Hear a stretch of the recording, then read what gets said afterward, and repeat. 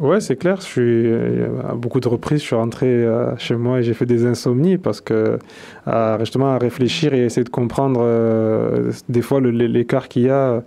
Et, souvent, ce qui, me, ce qui me revenait, parce que j'ai tendance à regarder plusieurs fois les matchs, je pense qu'à un moment donné, c'est soit un état d'esprit, des fois, ou un état de relâchement.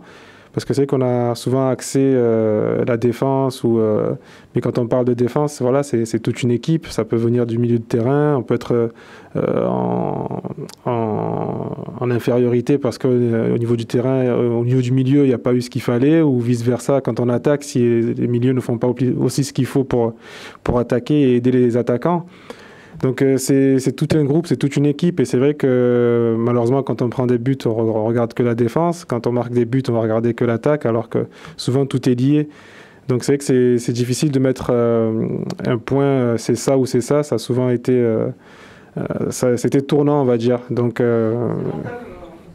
ben, Je pense que c'est ça. Je pense, moi, personnellement, je pense que c'est mental. C'est euh, plus de l'endurance mentale de, de garder justement cette, euh, se, maintenir cette pression et à négliger aucun détail. Parce que euh, à domicile comme à l'extérieur, c'est important. Et des fois, je pense qu'on s'est brûlé les doigts, des fois à l'extérieur.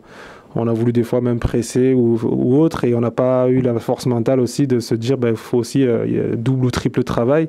Et des fois, on, on, a laissé des plumes parce que euh, voilà, on n'a pas eu la force justement mentale d'être aussi bon offensivement euh, que euh, dans le repli défensif.